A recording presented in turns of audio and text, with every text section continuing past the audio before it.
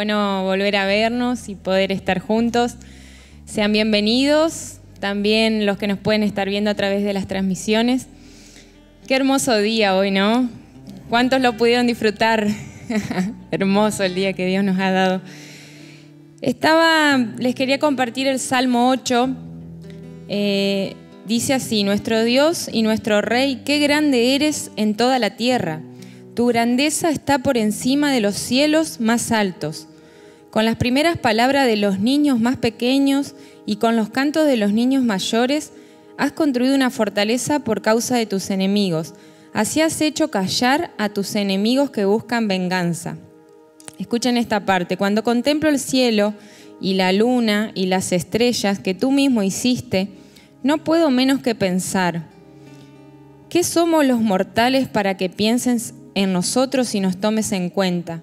Nos creaste casi igual a ti, nos trataste como a reyes, nos diste plena autoridad sobre todo lo que hiciste, nos diste dominio sobre toda tu creación, sobre ovejas y vacas, sobre animales salvajes, sobre aves y peces, sobre todo lo que se mueve en lo profundo del mar.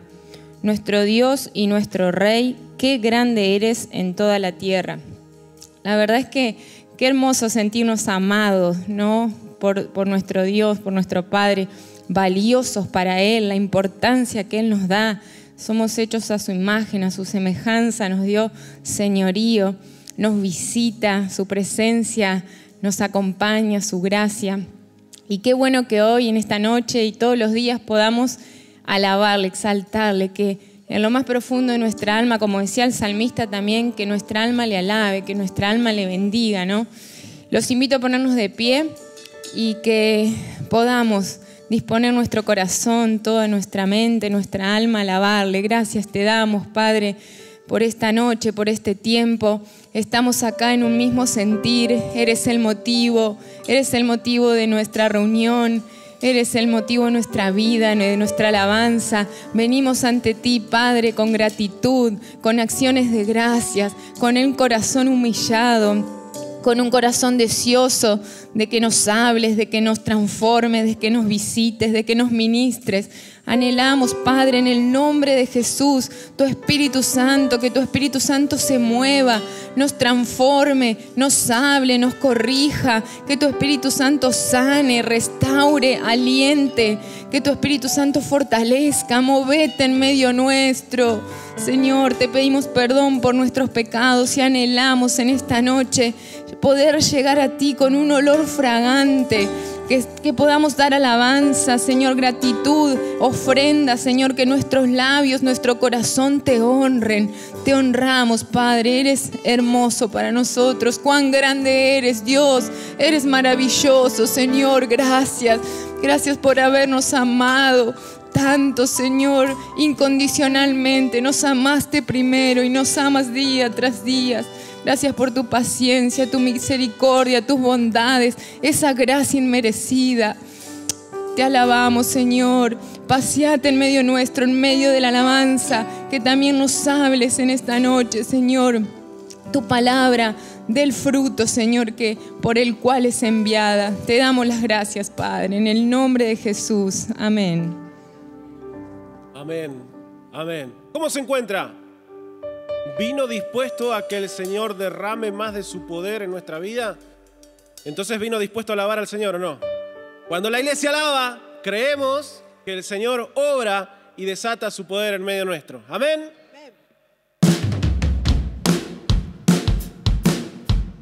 Empiece a sumar sus palmas en esta noche.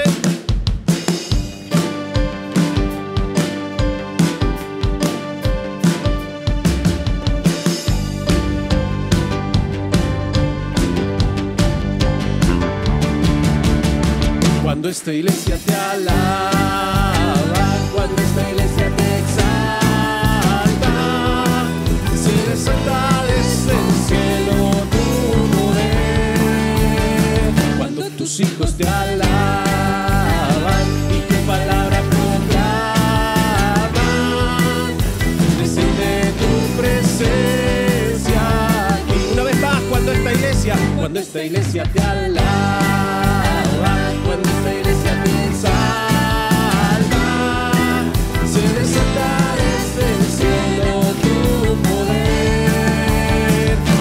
tus hijos de Alá.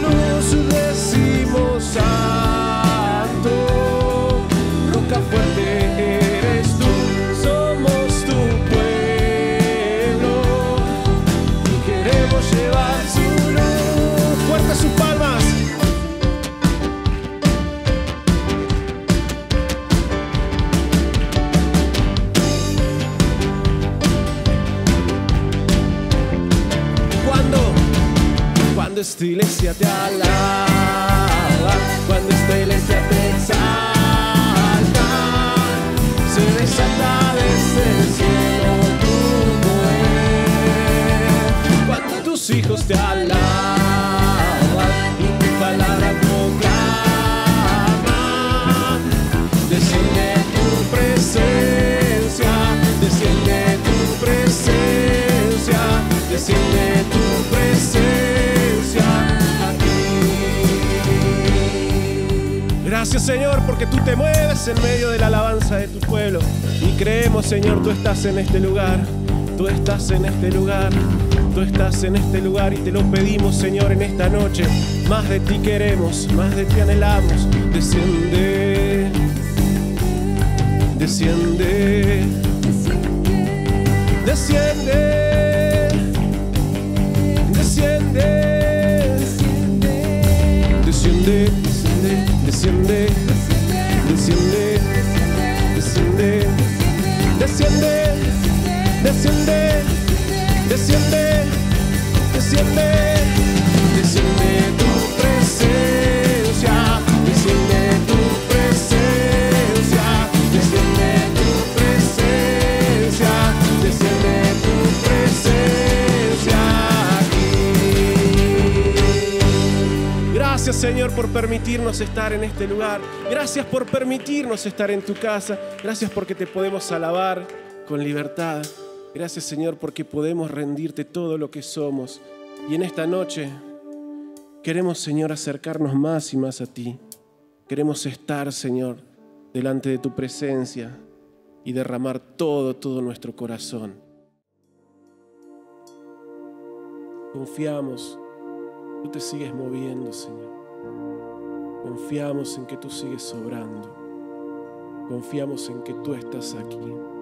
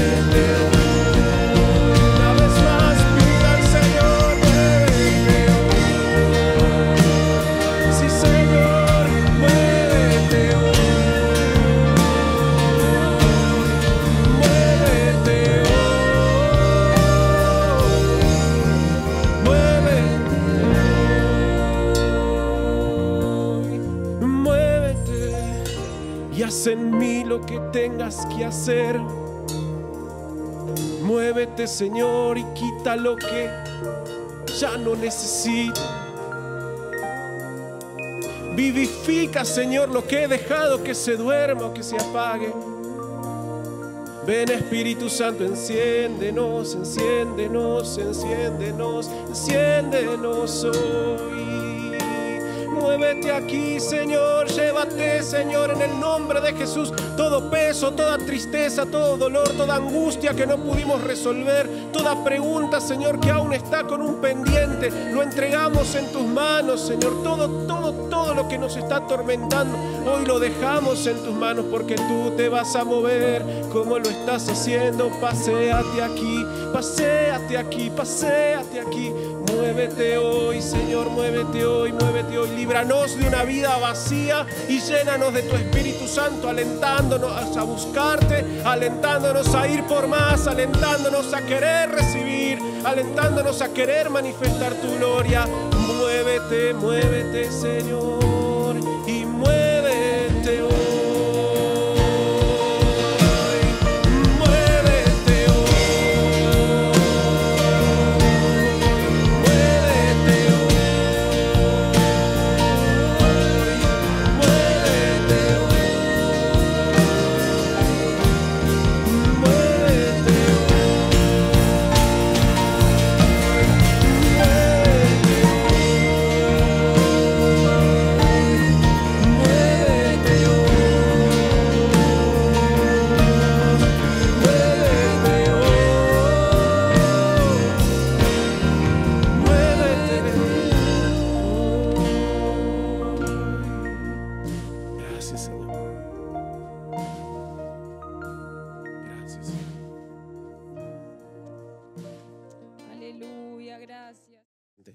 Vamos a compartir de la palabra del Señor en esta noche. Te pido, Luz, si podés ir poniendo la, la otra diapositiva. Y vamos a comenzar a hablar en esta oportunidad acerca de lo siguiente, acerca de los negocios de familia. No sé cuántos de ustedes tienen un negocio relacionado con lo familiar que haya nacido o que hoy en este momento, en este tiempo, funcione como un negocio familiar. Tal vez puede ser un emprendimiento, tal vez puede ser una empresa. Pero es interesante algunas de las cosas que a veces pueden llegar a suceder dentro de, un negocio dentro de un negocio familiar. ¿no? Y vamos a tratar de hablar un poco de acerca de esto y de allí partir para ver también cómo podemos nosotros llevarlo a nuestra vida espiritual. Los negocios familiares es un mundo bastante interesante. Yo hace varios meses atrás, recuerdo, si no recuerdo mal, ya un par de años atrás, le compartí sobre unas encuestas y estudios que se habían realizado acá en, Argentina y teniendo en cuenta algunas empresas argentinas y teniendo en cuenta también algunas empresas familiares en el mundo. Y hay una estadística, en este caso hoy no le traje el detalle, tan solamente recuerdo y le traigo a la memoria de lo que habíamos compartido. Hay una estadística que dice que aproximadamente el 80% de las empresas familiares, el 80% de las empresas familiares se funden en la segunda generación. O sea, alguien fundó, se pusieron un padre que fundó una empresa, ¿sí? y cuando pasa a la segunda generación a los hijos, algo sucede, pueden ser problemas de familia, pueden ser problemas de otro índole, cualquiera que sea, pero una de las cosas que sucede es que en la segunda generación casi el 80% de las empresas familiares desaparecen se trasladan a otros, se venden, se dividen, pero en la segunda generación sucede eso. De las que sobreviven, de ese 20% que sobreviven, se cree que el 90% desaparece en la tercera generación. O sea que el 10% de, la, de lo que sobrevivió es lo que llega a una tercera generación por todas las implicaciones que puede llegar a haber. Y esto con historias pasadas. ¿no? Tenemos nosotros acá en la ciudad de Crespo, nosotros conocemos empresas que son o están relacionadas con un apellido, con una familia, y tal vez algunas de ellas pueden entrar dentro de esta característica o no, algunas permanecen en el tiempo y generación tras generación, y otras van sufriendo alguna que otra situación a medida que van avanzando. Y esto creo que tiene que ver con que a veces es difícil entender el rol de cada uno cuando compartimos algo tan importante como lo es a veces una empresa familiar. Y sucede que a veces hay alguien que no entiende cuál es su rol, si soy el dueño, si soy empleado, si tengo partes, si no tengo partes, si me corresponde o no. Y a veces en esos conflictos, sin resolverse, es que surgen estas complicaciones. Y no le digo que nos vaya a pasar a nosotros, porque sé que varios de ustedes están llevando adelante una empresa familiar. No quiere decir que tenemos el futuro ya dicho, no, sino que si tomamos los recaudos necesarios, y con la ayuda del Señor, sobre todo metiéndolo a Él dentro de nuestros negocios, podemos ver cómo eso va a perdurar a lo largo de las generaciones. ¿sí? Incluso ser testimonio de que se puede todo esto. Pero yendo a la práctica, usted también sabe que no es fácil llevarnos entre familia y menos cuando hablamos de números. Hay que aprender a poner esas cosas en su lugar. No es fácil trabajar con papá. ¿A cuánto le tocó trabajar con papá? ¿O con mamá? A mí me tocaba cada verano ir a changuear con mi padre, que es lo, mayormente la actividad que él se dedica, a hacer albañilería, pintura, lo que sale, y los veranos me tocaba acompañarlo. Y no es fácil trabajar con papá. Porque no sé qué les pasa a los padres y especialmente a los padres albañiles, que yo quisiera, y como dijo el hijo pródigo, que me trate como uno de sus empleados, pero no te tratan como un empleado, te tratan como hijo, y que es raro eso, entonces una de las cosas que pasa es que uno termina siendo el pie de lo mandado. ¿Sí? Y aun cuando había varios empleados, ¿quiénes tenía que hacer los mandados? Yo, yo prefería cargar la arena, llevar la arena y todo lo demás antes que tener que hacerme el camino aburrido de ir a buscar los 100 de paletas y todo lo demás. Siempre los mandados eran para mí. Y mucho medio no me gustaba. Y esto le digo las cosas risueñas y piense y usted debe saber las cosas difíciles que deben ser trabajar también con nuestros, nuestros padres. Un día cambié y probé y me fui a trabajar con, ya era mi suegro en ese momento. No estaba casado con Guada, pero ya era mi novia. Me fui a trabajar con mi suegro un verano. Y la cosa venía bien, me trataba como empleado como yo quería. Sabía cuál era mi paga, algo de lo que no tenía muy en claro con mi papá, porque cuando uno trabaja con el padre, ¿cuál es mi paga? El número no está a veces bien definido, es de la familia, es de todos y no es de nadie al mismo tiempo. Ya con mi suegro era un poco más las cosas, pero se ve que en algún momento me tomó más confianza o me empezó a tomar cariño de hijo y empecé a hacer los mandados del suegro también. Así que bueno, no es tan fácil a veces trabajar con la familia, pero no es imposible. El problema es que a veces esas malas experiencias que podemos llegar a tener en nuestra casa, en nuestro hogar, con lo que hemos vivido, con lo que has pasado, como siempre, y como lo mencionaba Guada también la semana pasada, hay una imagen que se va distorsionando y es la imagen que tenemos de Dios. Y en torno a eso a veces decimos, si trabajar en la empresa, en el negocio, trabajar con mi papá es complicado y tiene sus cosas, y si saldría algo mejor yo me iría, estamos ahí, en esas, a veces esas cosas que están ahí, que parece que podemos y no podemos, a veces cuando estamos en ese ida y vuelta, también una de las cosas que nos surge que trabajar con Dios también se vuelve algo medio raro. Lo vemos de lejos, lo vemos medio... Ah, no estamos del todo convencidos de meternos ¿sí? en lo que Dios está haciendo o lo que Dios quiere hacer en cada uno de nuestras vidas. ¿Y sabe qué? Sí hay un deseo de Dios y Él que sí es un buen padre, de que nosotros podamos participar de sus negocios y de que podamos llevar adelante el sueño de Él que Él tiene para cada una de nuestras vidas. Vamos a buscar un pasaje, ¿sí? lo tengo acá en pantalla, hoy le voy a simplificar un pasito, pero le animo a que se lo anote y que se lo lleve esto, este pasaje también para seguir meditando y reflexionando en él. Hay una historia en el Nuevo Testamento, Jesús más o menos adolescente, había ido a la ciudad de Jerusalén junto con sus padres a una de las tantas fiestas que los judíos suelen ir a la ciudad de Jerusalén, y mientras estaban regresando, de repente en medio de toda la caravana de familia que volvía para su casa y toda la gente que se estaba yendo para el norte, porque ellos eran de Galilea, que estaba al norte y la fiesta había sido en Jerusalén, y cuando están volviendo de camino, dice, ¿y el pibe?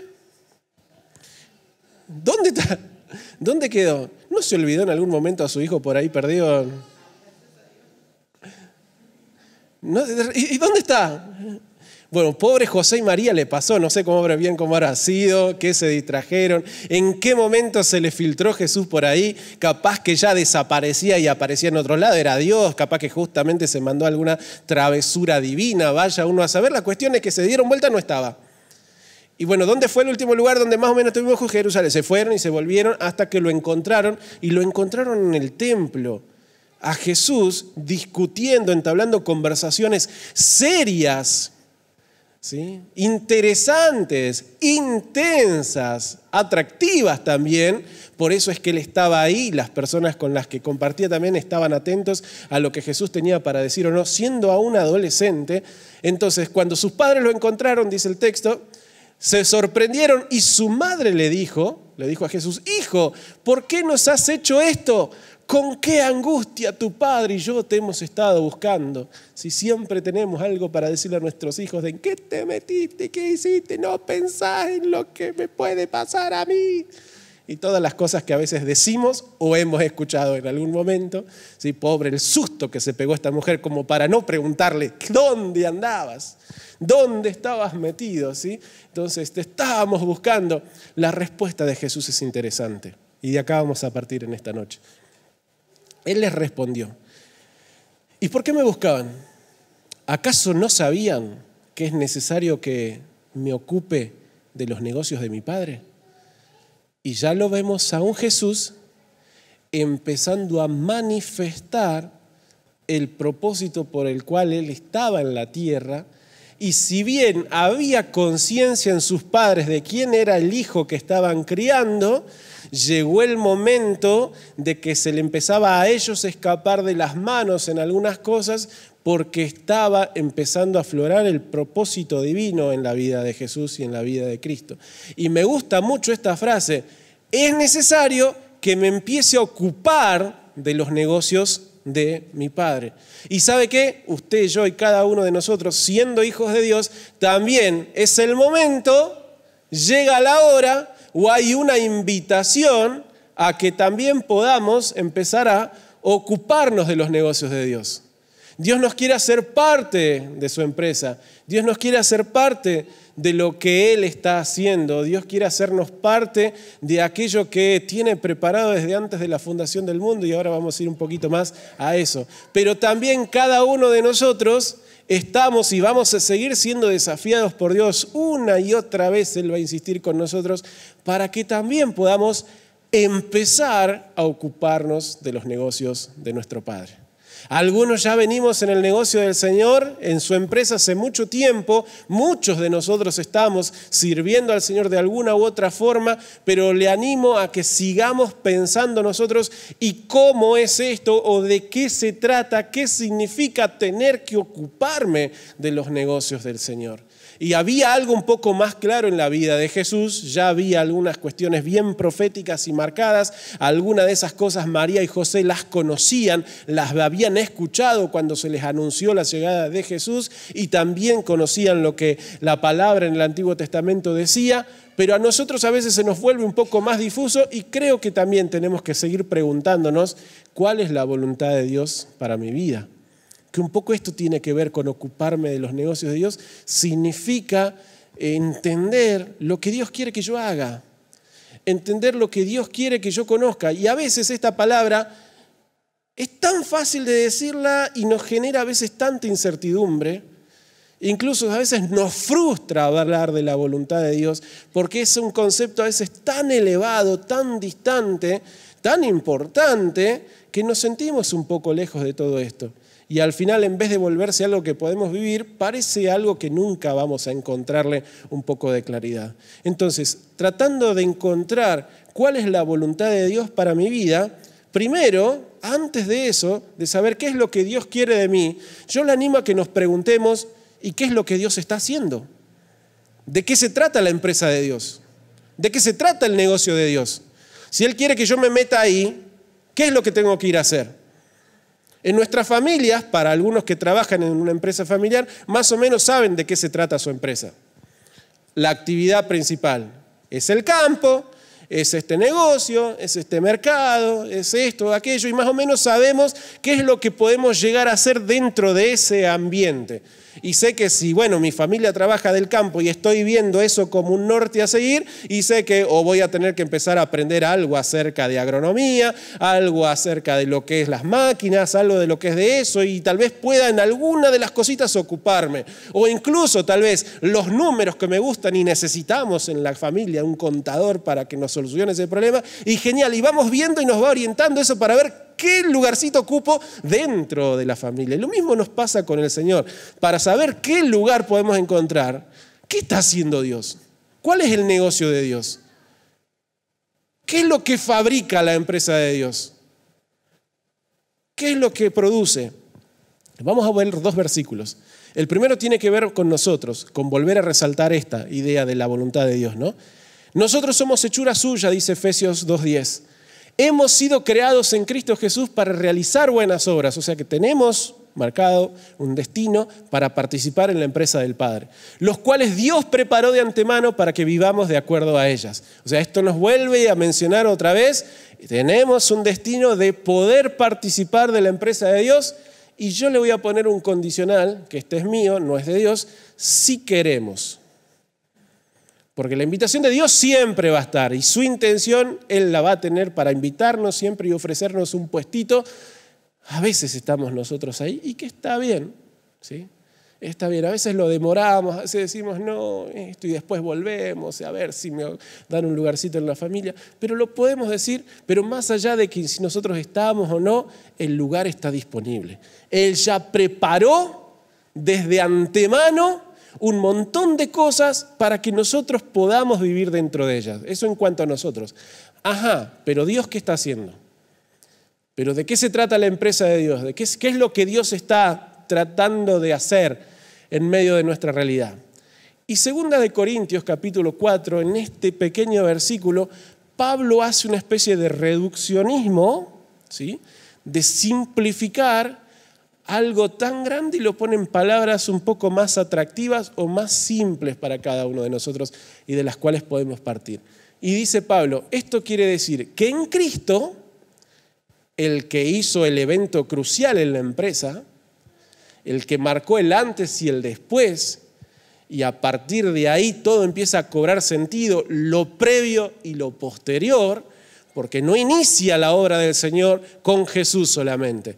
Hay mucha preparación previa y muchos que han participado previamente para que lo que inició luego Cristo también continúe y es donde nosotros hoy podemos participar. Esto quiere decir que en Cristo Dios estaba reconciliando al mundo consigo mismo sin tomarle en cuenta sus pecados. Y a nosotros nos encargó qué cosa? El mensaje de la reconciliación. ¿Qué está haciendo Dios? ¿Qué está tratando de hacer Dios? La primera partecita.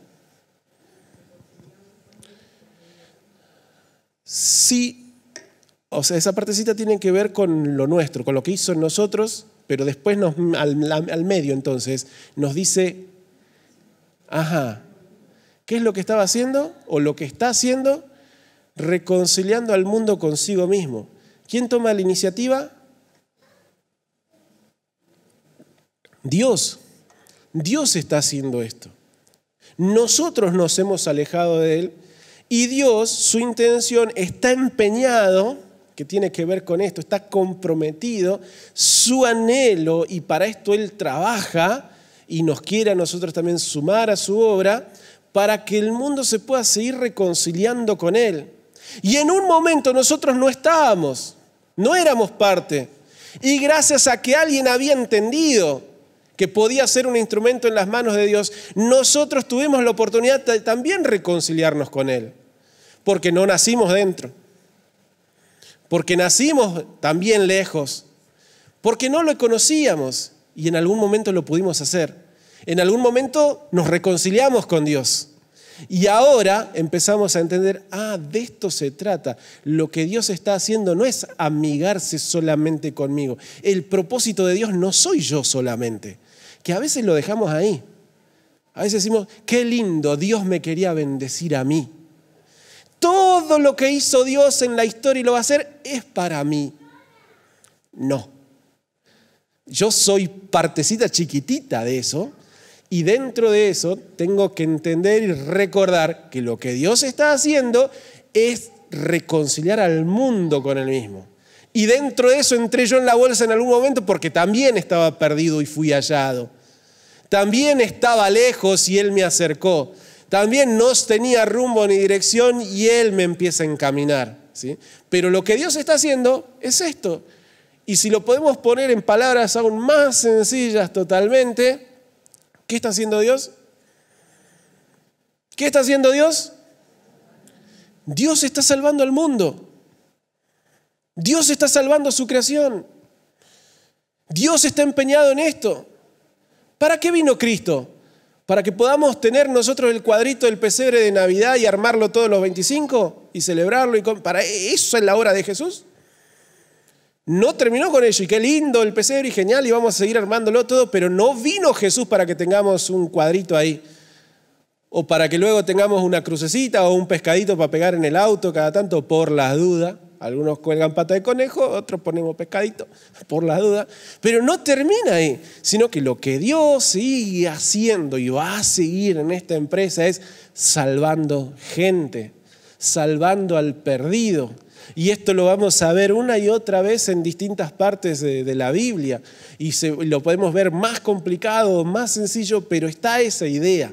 Y Pedro, el apóstol Pedro también nos dice, estábamos en la oscuridad y Él nos rescató, nos dio luz para que nosotros ahora también podamos hacerlo con los demás. Entonces, Dios está salvando gente. Y sabe, entonces, ¿cuál será nuestra parte? O, o mejor dicho, ¿de qué se va a tratar también el lugar donde vamos a ir a parar? La empresa de Dios no vende autos. No.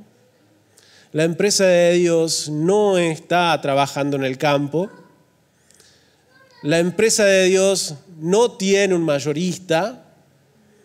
¿Sí? La, empresa de Dios, la empresa de Dios, ¿qué está haciendo?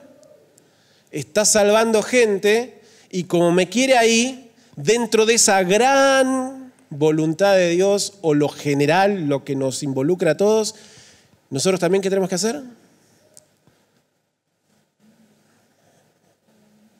¿Qué tenemos que hacer? Salvar gente. Salvar al mundo. No se asuste. No vamos a poder nosotros salvar a todo el mundo. Somos finitos también, tenemos límites. Dios lo está haciendo. Y Dios lo va a lograr. Ya está todo dicho, está todo, ya está todo cantado. Tenemos el diario de ayer y el de mañana. Eso es maravilloso, ya está. Y en medio de todo esto hay una participación de cada uno de nosotros. Yo, nosotros no vamos a poder salvar a todo el mundo, pero sí tenemos que meternos en esta empresa, salvar gente, salvar al perdido. Y sabe qué, acá viene ahora algo que un poco tiene que ver con a empezar a pensar en cada uno de nosotros. ¿sí? ¿Cuál es mi parte en todo esto? ¿sí? ¿Cuál es mi lugar? Porque no todos vamos a hacer lo mismo dentro de la empresa de Dios. No todos vamos a hacer lo mismo dentro de esta empresa familiar. Porque en la empresa familiar no hacen todos los mismos. Si tienen una empresa de logística, no salen todos a repartir. No salen todos a manejar. Hay uno que tiene que encargarse de los números, otro del encargo, otro de Cada uno dentro de la empresa que saben lo que hacen, tienen un lugar específico. De la misma manera, nosotros que ahora sabemos o estamos recordando, porque a veces lo dejamos medio costadito y pensamos que la obra de Dios es otra. No, la obra de Dios la principal es esta, salvar junto, ahora que lo recordamos y lo traemos para mí. Ahora entiendo que se trata de esto, recuerdo que se trata de esto, pero también tengo que empezar a ver, ¿y cómo puedo yo sumarme dentro de todo lo que se puede hacer para que la gente se salve? Para que la gente tomemos esta palabra que leímos hace rato, se reconcilie con Dios. Vuelva a mirar a Dios, aunque sea de costado y por un ratito, pero ¿sabe qué hay? Ahí nosotros tenemos un lugar. Y ahí nosotros tenemos cosas para aportar. Hoy hablábamos de los grupos pequeños y puede ser una herramienta en que yo puedo servir para que alguien se reconcilie con Dios, para que alguien vuelva. Mi, profesión, mi carrera, lo que yo tengo, lo que sé hacer, usted sabe que eso puede ser una de las formas en las que podamos sumarle a la empresa lo necesario para que más gente se pueda salvar. Porque en este aspecto y haciendo este juego de palabras con esta ilustración que estamos mencionando, hay un montón de maneras de salvar gente. Hay un montón de maneras de salvar gente. Así como el mayorista o quien trabaja en el mayorista tiene muchas formas de trabajar dentro del mayorista, desde repartiendo, desde, llevando la contabilidad, desde haciendo las gestiones, desde haciendo un montón de cosas, y qué está haciendo, vendiendo. ¿Sí? Así cada uno de nosotros tenemos un montón de lugarcitos o con cosas pequeñitas o grandes en las cuales también podemos ser parte de salvar gente. Tal vez llevamos adelante una hace mucho tiempo y la hemos puesto como la única forma pero no necesariamente es la única forma. Ha funcionado, sigue funcionando y va a funcionar. Yo creo que sí, pero es la única, no necesariamente es la única. ¿Y de qué le estoy hablando? De la iglesia, o mejor dicho, de la reunión, que reunión e iglesia no necesariamente son sinónimos. ¿sí? A veces son dos cosas distintas. A veces hemos usado tan solamente una reunión para salvar gente abrimos puertas y el que por ahí cae, y bueno, si el mensaje justamente fue medio llevándolo a Jesús, por ahí lo que hemos hecho desde abrirle la puerta, desde acercarle una ayuda, desde la canción que se cantó, desde todo lo que se preparó, desde la luz que se prendió o desde lo que se filmó para que alguien escuche, todo eso seguramente fue funcionando, pero está dentro del ambiente de una reunión. Fíjese que en una reunión ya tenemos muchas cositas que podemos hacer. Dentro de una reunión nosotros podemos colaborar de muchas formas. Y le animo, si Dios le está haciendo algún llamado para servir dentro de lo que es el espacio de la reunión, porque usted cree que tiene cosas para sumar, también por favor compártamelas, porque necesitamos cada vez más personas que se involucren en todas las áreas lo que tienen que ver con una reunión. Pero la empresa de Dios funciona tan solamente o está limitada a una reunión? No. Es una de las áreas de la empresa. ¿Cómo se dicen? Eh, vi que las empresas tienen distintas también secciones, no es la palabra sección, área, departamentos, ahí está, pueden ser departamentos, oficinas, así como también en nuestra nación tenemos ministerios, secretarías y todo lo demás. En una empresa a veces tenemos muchas partes y cuando empezamos a pensarlo de esta manera, cuando vemos el foco de lo que significa, o mejor dicho, tenemos presente que nuestra tarea es salvar gente, ahí puedo empezar a conectar lo que tengo con lo que Dios está esperando en el propósito general. ¿Y sabe qué? Nosotros podemos reconciliar gente con el Señor con lo poco que tenemos o con lo mucho. Porque hay muchas formas en las que podemos ayudar a que alguien vuelva con el Señor. Y nos tenemos que seguir preguntando, ajá, ¿y cuál es mi lugar? ¿Y qué es lo que puedo hacer? ¿Y qué es lo que puedo sumar? Y parta otra vez desde lo que tiene en su mano, desde cuáles son sus gustos, desde cuáles son las cosas que le llaman la atención. A veces nos vamos lejos. Por favor, también tenga en cuenta algo. No solamente se trata de lo que a nosotros nos interesa, se trata del llamado que a veces Dios nos hace y Dios a veces nos está llamando a ocupar áreas y lugares que no nos resultan atractivos, pero si Dios llama, por favor, hágale caso también esa voz. Pero si por ahí todavía es difusa o no fue tan desafiante el llamado de Dios, parta desde usted, desde lo que tiene, desde lo que sabe, y decir, ¿y esto, ¿y esto cómo puede ayudar a Dios? Hablo hasta por los codos, ¿cómo eso puede ayudar a salvar gente? Canto bien, ¿cómo eso puede ayudar a salvar gente? Sé algo de números, ¿cómo puedo con eso salvar gente? Me gusta escuchar a las personas. Tengo la, esa, esa paz para prestarle el oído a alguien y siempre me están buscando. ¿Cómo puedo conectar eso con salvar gente? Parta desde ahí, desde lo que ya tenemos. Desde las cosas que parecen más loables y desde las sencillas y simples también. Porque cuando empezamos a pensar desde ese lugar, todos tenemos algo por hacer. Todos tenemos algo por aportar. Todos tenemos algo que bendice. Aunque a veces pensamos que no, todos tenemos ya en nuestra mano algo que bendice. Y lo que bendice, lo que hace bien, lo puedo usar como un instrumento para que otro le pueda cambiar el día, para que otro pueda prestar atención, para que otro pueda empezar a decir, ajá, contame un poquitito más, ¿por qué estás haciendo esto? ¿Por qué me hablas de esta manera? ¿Por qué me escuchaste cuando nadie me escuchó? Entonces, desde lo que tenemos, si no perdemos de vista que nuestro propósito es salvar gente, podemos usar lo que ya está en nuestra mano. Desde siendo un albañil, haciendo bien mi trabajo, ya puedo estar salvando gente, porque en algún momento se puede presentar la oportunidad desde ese lugar, desde eso algo tan sencillo como cualquier otra de las cosas. Incluso a veces hay algo en lo que muchas veces nos hemos equivocado y hemos soltado palabras al viento. Menos mal que Dios no miente y lo que promete cumple, porque si dependiera de nosotros, hemos dicho tantas cosas y tantas promesas al Señor. No sé si a usted se le escapó, a mí un par de veces se me escapó, Señor, el día que me reciba, el día que me deje el título, el día que pueda conseguir esto, con eso te voy a servir al Señor. Y yo le he mentido un par de veces porque he conseguido cosas que después no las usé para servir al Señor. Pero vuelva a retomar la promesa si es que en algún momento lo hizo y capaz que de ahí podemos partir.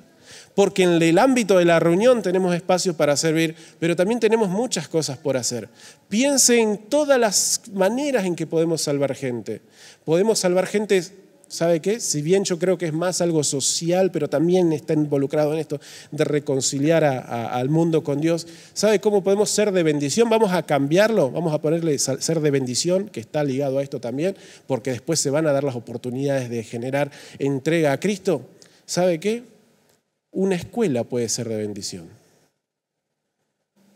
¿O no? ¿Faltan escuelas en nuestra ciudad? Sería bueno tener una escuela cristiana, ¿no? No es fácil tener una escuela cristiana. A mí con 24 años, primera experiencia pastoral, me dijeron, vaya para Maciá. ¿Sabe lo que había en Maciá? Una escuela. Con algunos líos administrativos y donde el pastor era el apoderado legal. Yo ligado a oficina, para mí nunca fue, yo vengo de escuela técnica media mala escuela técnica, porque era polimodal me tocó, así que más o menos, de contabilidad, números, firmar un recibo, llenar planillas y papeles viendo que eran los maestros, no de eso no sabía mucho. Y aprendí algunas cosas. ¿Y sabe qué es lo que me dije cuando salí demasiado? Una escuela nunca más. Esas cosas dije. Y si bien todavía casi por la experiencia lo sigo sosteniendo, me parece que estoy aflojando de a poquito. Porque tal vez una escuela pueda ser de bendición acá en esta ciudad, pero no la puede hacer una persona. Usted siendo maestro puede reconciliar al mundo con Dios, porque estamos dando un servicio. Usted siendo contador, porque lo vamos a necesitar en la escuela, y le cito la escuela porque uno de los ejemplos, no le digo que mañana vamos a empezar con una escuela, por favor no se asuste, porque todavía no sé, pero ¿quién dice? Pero fíjese cómo empezamos a necesitar herramientas específicas para cosas específicas también o más grandes de las cuales necesitemos. ¿Sabe que tenemos muchas problemáticas acá en la ciudad también que están relacionadas con grupos específicos? Aunque a veces digamos que Crespo es nuestra ciudad tan tranquila y bonita y lo cantamos y que se habla de lo lindo en nuestro país, aunque a veces lo decimos, también tenemos nuestras cosas oscuritas en Crespo. Las cosas que no cantamos en el himno de la ciudad. ¿Sí? Esas cosas que las ponemos abajo. Y no queremos hablar de que hay gente que está atada a las drogas, al alcohol, que hay mucha gente que lucha con la idea de quitarse la vida. Y para eso también necesitamos personas que deseen involucrarse, trabajar con tipo de grupos operativos. Y la iglesia tal vez podamos tener oficinas que atiendan esas problemáticas. ¿Pero sabe para qué? ¿Pero sabe qué? Para eso, ¿qué necesitamos? Consejeros, psicólogos, terapeutas, oídos, y también seguramente cuestiones administrativas. O sea, que, también empiece a cantarlo de vuelta. El que quiera trabajar hallará también lugar en la viña del Señor, que no es solo la reunión, es más grandecito que la reunión, la viña del Señor. ¿Sí? y tenemos mucho para compartir. E incluso le quiero contar una experiencia personal, algo de lo que muy, muy, muy poquitas personas conocen y saben y que de lo cual no quiero hacer público, ni siquiera le voy a contar mucho detalle al respecto, pero hace un par de meses abrí un canal de YouTube, ¿sí? Que casi nadie sabe. Y mi canal de YouTube no es espiritual. Abrí un canal de YouTube que son de tutoriales de aplicaciones, nada que ver con la Biblia porque son cosas que yo fui aprendiendo a lo largo del tiempo y el año pasado un poco con esto de replantear cosas y empezar y proyectar y emprender todo, me dije, ¿por qué no? Porque también me han llegado consultas de gente que necesitaba ayuda. dije, bueno, lo voy a empezar porque era un proyecto que lo tenía anulado desde hace muchos años. Dije, listo, lo voy a hacer, voy a romper la vergüenza, voy a mandar y empecé. Y grabando tutoriales, tutoriales y ahí se están publicando en el canal de YouTube. Ni le voy a decir cómo se llama el canal de YouTube. Este. ¿Y sabe qué? hace un par de semanas atrás de tutoriales, de aplicaciones, cero espiritual, nada. Una persona me deja un comentario y me dice, te agradezco mucho porque estaba en un momento muy oscuro de mi vida, que no sabía cómo seguir, y gracias a estas herramientas estoy volviendo a empezar de nuevo. Me partió el día. Porque ni siquiera era la intención, ¿eh? O sea, no hablo de Dios. Por ahí se me escapa un Dios que me bendiga porque ya es costumbre, ¿vio? Ahí se me escapan cada tanto. Pero ese comentario una persona dice, un tutorial le cambió el día. Y tal vez le esté ayudando en su negocio y tal vez le ayude en su futuro y Dios quiera que en algún momento también encuentre a Dios. Entonces, todo lo que sabemos hacer, hasta las cosas que descartamos porque consideramos que no son espirituales o son chiquititas, le pueden cambiar el día a alguien. ¿Y por qué no tomarlo y decir, yo puedo hacer algo con esto? Yo puedo hacer algo, yo puedo hacer algo con mi tejido, yo puedo hacer algo con mi pintura, yo puedo hacer algo con mi fútbol, yo puedo hacer algo con lo que sé. Yo puedo hacer algo con esto. Yo puedo hacer algo con mi temperamento, yo puedo hacer algo con lo que he conocido, yo puedo hacer algo con, lo que sé de lo que pasa aquí. Yo puedo hacer algo con esto y que le sea de bendición a alguien y que sirva para la empresa. ¿Que sirva para qué? Para que gente se siga salvando. ¿Sí? Porque en todo esto todos vamos a tener un enganche. Incluso a veces necesitamos a alguien que no concrete la venta. Hay de los que atraen, ¿vio? Hay de los que te dejan el panfleto y después llega cuando ese ya llamó Acá tenemos el hermano que se encarga de ventas también y dejan un montón. Y alguno pica. Y el que pica, ahí está, ahí se concreta. Entonces tal vez sabe que muchos de nosotros, y le animo a que empiece por ahí, no empiece tratando de concretar las ventas, porque a veces no nos sale y nos frustramos. No podemos lograr que nadie se convierta y nos frustramos. Entonces empiece por otro lado en la empresa. Empiece por ser el que la traiga y después alguien va a enganchar, alguien la va a vender, alguien va a decir y va a ayudar para que esa persona pueda decir, sí, creo. Pero alguien tiene que atraer, alguien puede impactar. Y por eso, no era la idea de que esta palabra sirva para, para, para el tema de los grupos pequeños, pero otra vez les recuerdo que puede ser un lugar por donde podemos empezar. ¿sí? Tu asado puede ser una herramienta que salve gente. ¿sí? Lo que sabemos hacer puede contribuir a que alguien también conozca al Señor y se salve. Pero mientras llega la hora, y ya llegó la hora de ir terminando, hace rato ya era la hora de ir terminando, pero bueno, mientras llega la hora, porque también hay que tener en cuenta algo, ¿no? Volviendo a la historia de la cual partimos de Jesús. Eso le pasó a Jesús más o menos a qué edad? 12, 13 años por ahí, ¿sí? cuando los varones empezaban a iniciarse también en las cuestiones de, de, de, la, vida, de la vida adulta. Y en ese momento él ya empezó a participar, pero no era el destino final. Lo que Jesús vino a hacer iba a pasar, o sea, lo más importante iba a pasar más o menos dentro de 15 años más, un poquito más también, ¿sí? Y mientras llega la obra, mientras todavía estaba el tiempo lejano, él se estaba preparando, él se estaba ocupando ¿sí? de las cosas del negocio de su padre.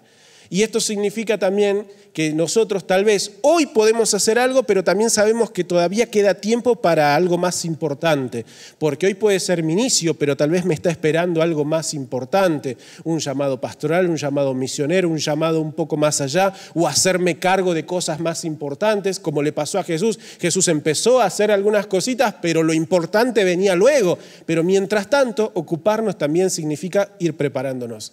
Por eso no deje de aprender, y yo siempre le animo, aprenda, aprenda, aprenda de las cosas que tienen que ver con la palabra, pero de cualquier cosa también, porque el curso de macramé que va a empezar esta semana puede salvar gente.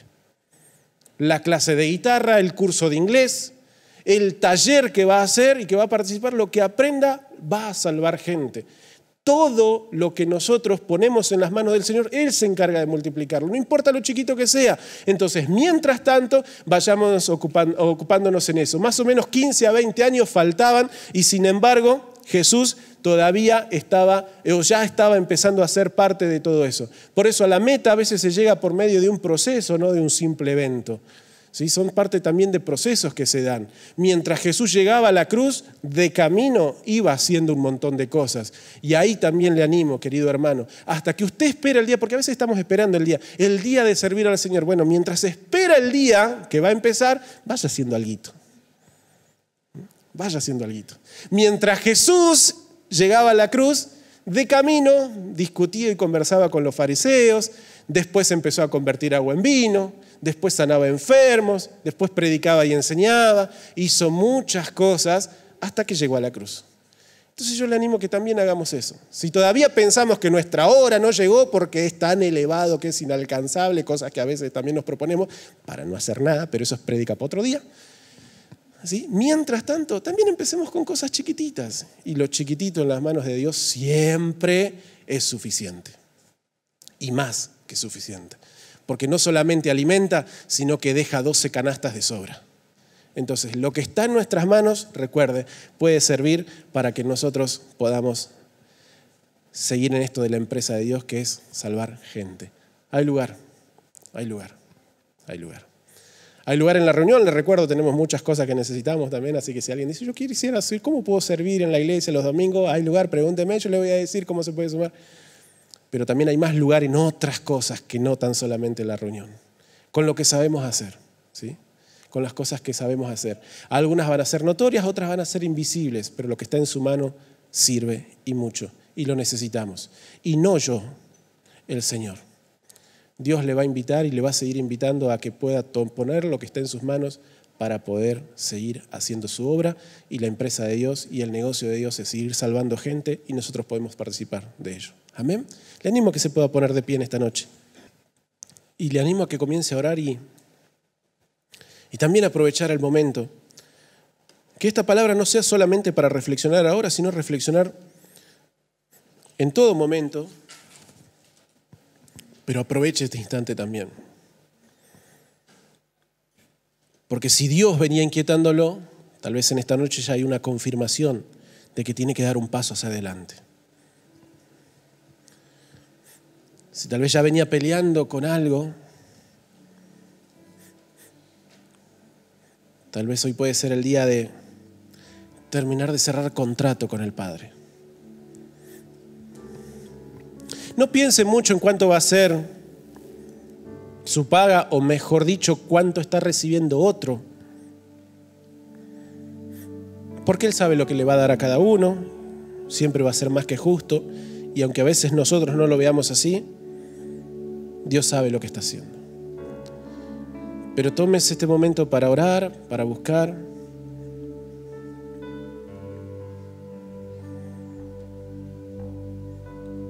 y para rendir, si entiende que ya hay algo para rendir. Si entiende que ya hay algo para dar.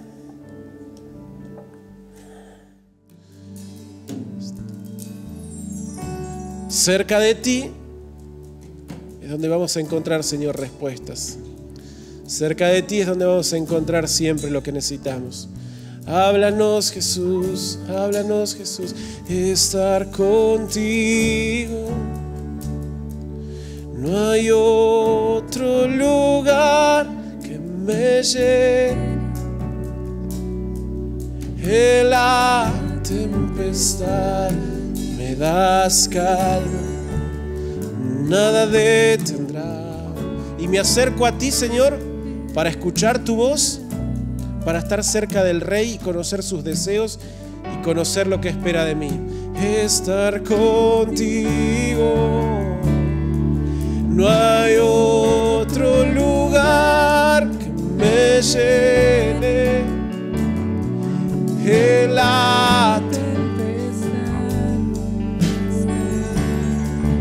y nada detendrá tu fidelidad. Una vez más cantémosle al Señor, estar contigo, estar contigo.